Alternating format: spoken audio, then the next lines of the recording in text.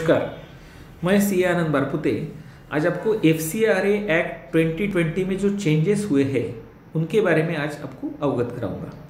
तो F act 2020 जो पास हुआ है नया तो उसमें मेन प्रावधान ये है कि एक है कि एफसीआरए अप्रूव्ड इंस्टीट्यूशन जो है, वो किसी भी दूसरे F C R approved institution को या non F C R approved institution को डोनेशन नहीं दे पाएगी। यानी जो भी फॉरेन डोनेशंस आप लेते हो, वो टोटली आपको एक तो स्पेंड करना है या आपके एफ़ अकाउंट में पड़े रहना है। लेकिन आपको किसी भी दूसरे इंस्टीट्यूशन को डोनेशन नहीं देना है। ये इंपॉर्टेंट प्रावधान जो है एफ़ सी आर एक्ट 2020 में हुआ है। इसके अलावा नंबर दो जो एफ़ एक्ट में प्रावधान हुआ है, वो ऐसा है कि एडमिनिस्ट्रेटिव एक्सपेंसेस जो है आपके, वो previously 20 percent of the total expenditure allowed होते थे। लेकिन अभी जो है एडमिनिस्ट्रेटिव एक्सपेंसेस पहले 50 परसेंट अलाउड होते थे, लेकिन अभी सिर्फ़ 20 परसेंट ही अलाउड होते तो you cannot spend more than 20 percent of the total receipt for administrative expenses ये एक इंपॉर्टेंट प्रावधान आया है। इसके साथ भी एक प्रावधान ऐसा है कि आपके जो भी ऑफ़िस बियर है, वो सबके केवाईसी डॉक्यूमेंट का कंप्लायंस एफ़ आपके अकाउंट में होना चाहिए।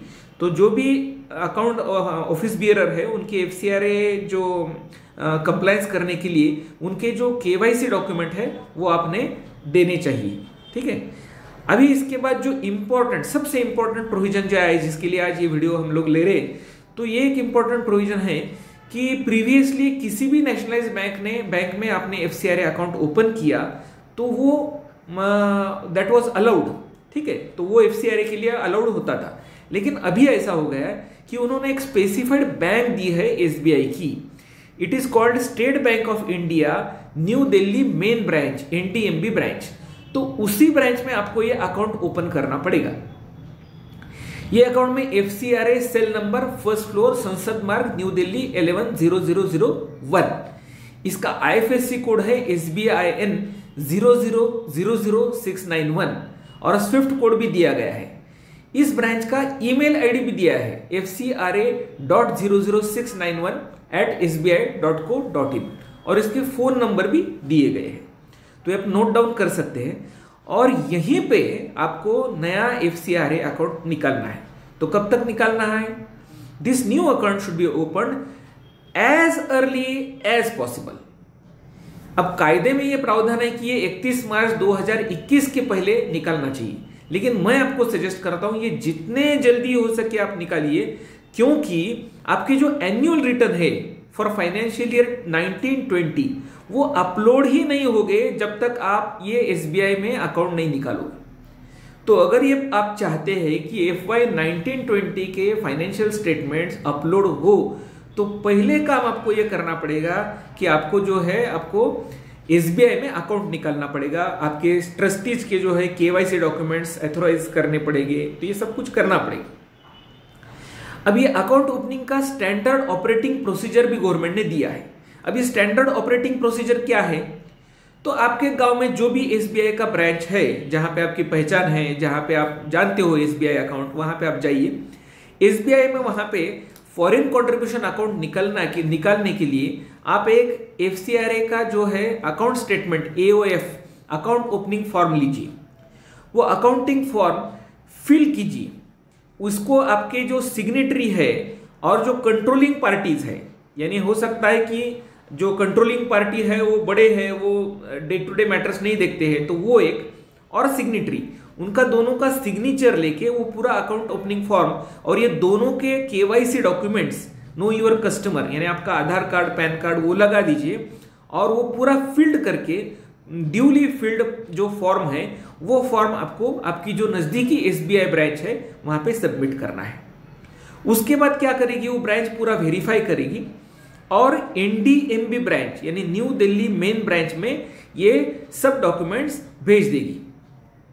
जैसे ही स्कैन कॉपीज आपके डॉक्यूमेंट्स के एनडीएमबी ब्रांच को रिसीव हो जाते एनडीएमबी ब्रांच एक्नॉलेज करेगी that we have received the documents by a mail to a party जिन्होंने भी एफ़ अकाउंट ओपन किया है, उनको ये मेल किया जाएगा।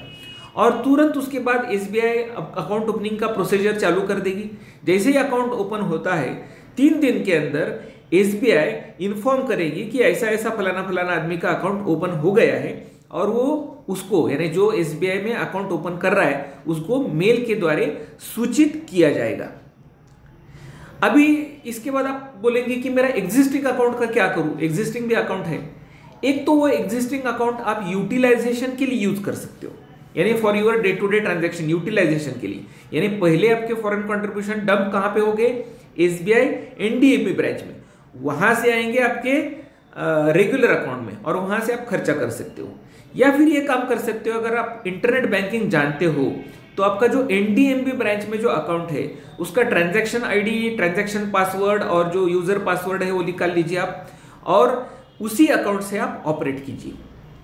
For saving the time and reducing the complication we suggest you to keep only one bank for F C I don't keep two account one for utilization one for receiving वो complication create करेगा।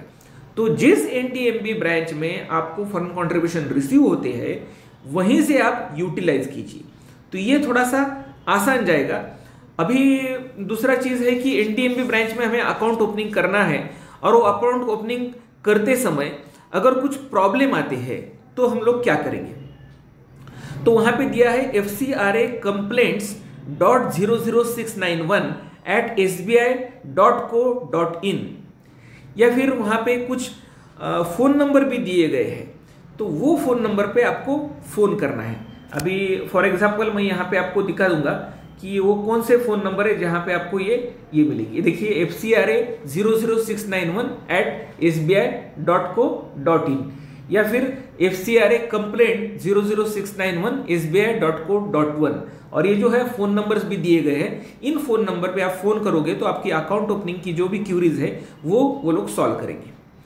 अभी normally ये देखा गया है कि हमारे कुछ क्लाइंट्स ने ओपन करने की कोशिश की तो उनको SBI जो ब्रांच है, वहाँ पे ट्वेल्व ए के सर्टिफिकेट मांगे गए। तो अगर ट्वेल्व ए रजिस्टर्ड है income tax registered twelve A institution है आपकी तो आप ट्वेल्व ए रजिस्ट्रेशन वहाँ पे लेके जाइए तो आपको वो लोग एसबीआई सेविंग अकाउंट में आपका अकाउंट ओपन करेंगे। ठीक है? और अगर ट्वेल्व ए नहीं भी है आपको तो भी अगर उन्होंने वो करंट अकाउंट ओपन कर सकते हैं। लेकिन प्रिफरेबली अगर ट्वेल्व ए रजिस्ट्रेशन सर्टिफिकेट अगर आपके पास है तो वो आप लेकर के जाइए।